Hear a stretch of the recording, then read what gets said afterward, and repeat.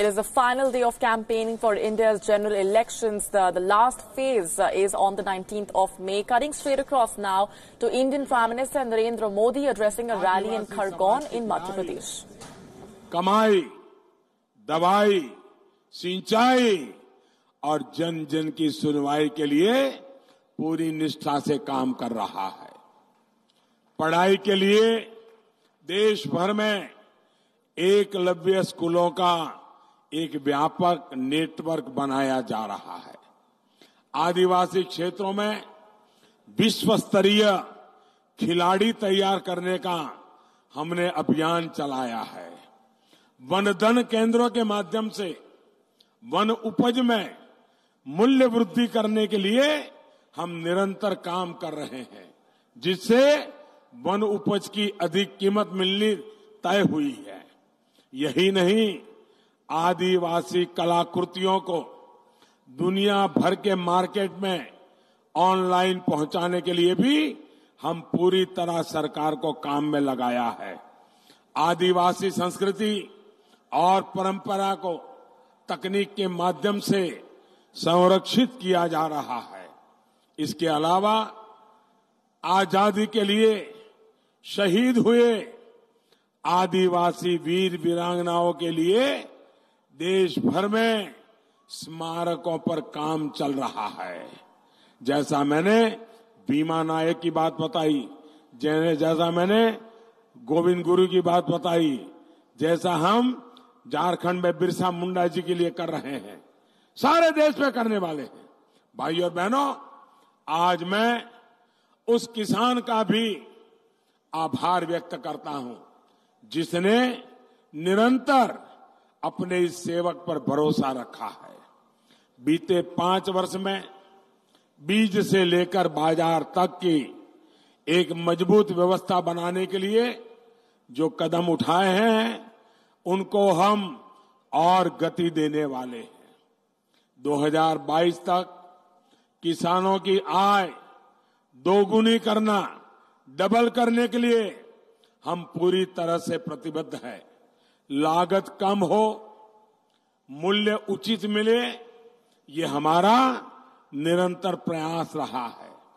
अन्नदाता, अब ऊर्जादाता भी बने, इसके लिए हम कदम बढ़ा चुके हैं। भाइयों बहनों, हमारे देश में किसान, छोटी ज़मीन हो, बड़ी ज़मीन हो, जहाँ सिंचाई है, नदी का पानी है, तालाब है वहाँ तो दो तीन फ़सल ले पाता है। क्या करे? और राज्य सरकार वो बिजली खरीदे ताकि हमारा किसान बारह महीना कमाई करता रहे, सूरज की शक्ति से कमाता रहे, इस दिशा में काम कर रहे हैं। किसानों को बिजली की ज़रूरत न पड़े, सोलार पंप खर्चा भी नहीं, सूरज की शक्ति से पंप चले, रात को जागना भी नहीं, दिन में पंप चले, खेत में पानी पहुँचे इस पर हमारी सरकार बहुत तेज़ी से आगे काम कर रही है। सौर ऊर्जा के द्वारा, सूर्य शक्ति के द्वारा सिंचाई भी मुफ़्त हो, बिजली भी पर्याप्त मिले और अतिरिक्त बिजली से कमाई भी हो, ये काम हम कर रहे हैं। साथियों, हम किसानों को सशक्त बनाने में जुटे हैं। इसी सोच के तहत ही किसानों के खाते में सीधे पैसे जमा किए जा रहे हैं। अब तो हमने ये भी तय किया है कि अब देश के हर किसान परिवार के खाते में ये मदद सीधी भेजी जाएगी। ये झूठ बोलने वालों की जो जमात है, उनके पास अपने शासन का हिसाब देने की हिम्मत नहीं है। अपने किए हुए कामों की बात बताने की हिम्मत नहीं है। इसलिए झूठ बोलते हैं। मुझे बताया गया कि एक झूठ ऐसा चल रहा है कि मोदी ये जो किसानों के खाते में पैसा जमा करता है वो तो चुनाव होने के बाद वापस ले लेगा।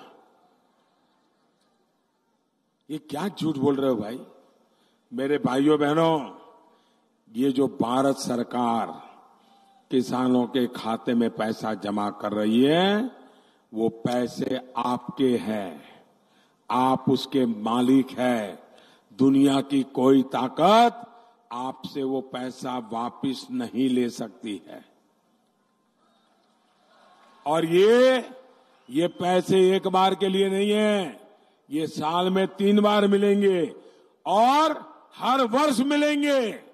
कोई इसको बंद नहीं कर पाएगा, ये मैं आपको लिखित करके जाता हूँ।